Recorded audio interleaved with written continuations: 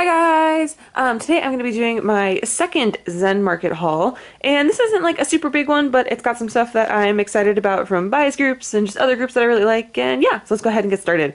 So the first thing I got is Red Velvet's um, first Japan mini album, hashtag cookie jar, um, and this is the limited edition, and it just came with a photo book. Um, I did not get a photo card with this, but yeah, I'm really excited to have this. I actually haven't listened to the rest of this album, but I really liked hashtag cookie jar. I really like, you know, Russian Roulette and Red Flavor and Dum Dum. So I haven't heard basically the two original other songs. And this packaging is really cute. And actually the photo book is pretty nice. Like it's it's not huge, but like, you know, it's something and it's cool and this disc is cute. So yeah, so I'm happy to have this one. And then I also got um something that may seem kind of random. 2PM's third album, Grown. This is the grand edition, so this is like the special edition. And boy, does this come with a bunch of goodies. If you have not seen an unboxing of this, I would highly recommend checking it out. Um, not only do you get a bunch of like pictures and photo books and stuff, you also get two discs, which I think is pretty impressive. Um, and I got this for very cheap, so thank you, Zenmarket.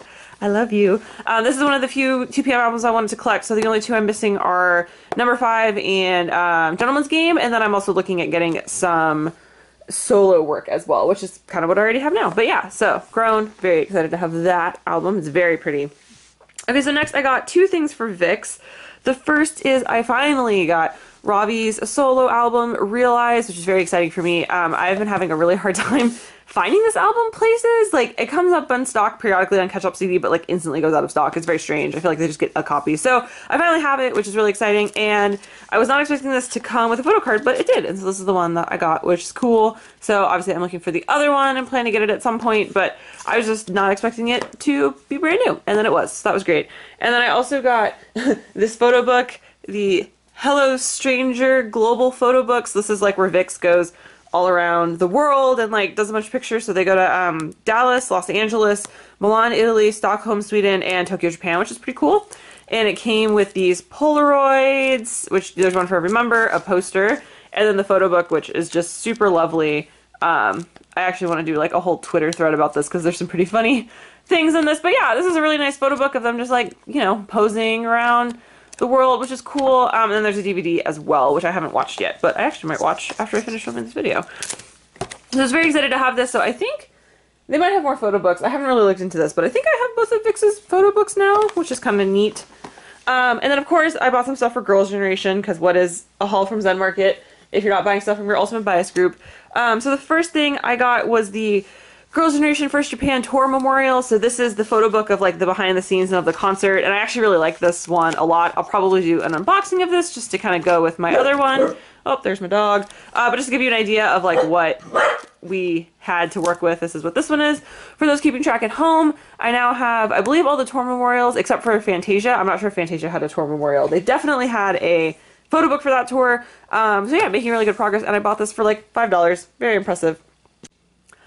So next up, I got um, Girls' Generation's Fantasia Tour in Japan Blu-ray. So this is the Blu-ray of the Japanese version of the Fantasia Tour, which actually has a pretty decently different track list than the one that they did in Korea, which is pretty cool. I'm very excited to watch this and all of its beautiful 1080p glory. This also comes with a little photo book, which is pretty cute. Uh, but yeah, so working on my Japanese Blu-ray collection because I decided I was going to do Blu-rays for Japan since I already have all the DVDs. And then I also got their very first tour, um, first Japan tour Blu-ray as well, which has a pretty similar track list to the Seoul one. Um, and this is the limited edition, so it did come with the pins, which are hilarious. Um, I will actually take a second to show you guys these pins. I just, like, there's nothing wrong with them, like, as a thing. Like, there's, I have no problems with the fact that they, like, give you pins, because that's kind of an interesting extra. I just, like, what am I supposed to do with these? Like, I'm not gonna put them on my like backpack. I could lose them. And like, why would I only put one member? And anyway, they're kind of funny. And they're a thing that I have now, which I think is great. Um, so yeah, so that was pretty much my haul. Let me pull some more stuff into the shot. I'm really happy with all the stuff that I got. Um, because I'm trying to kind of fill in my collection of older releases and it was just, it's a good one and I think it was good stuff. So yeah, let me know down below if you have any like questions or want any unboxings of any of these things, although I'm sure all of these have already been unboxed a lot, so you could probably find one. But yeah, thanks so much for watching. Bye!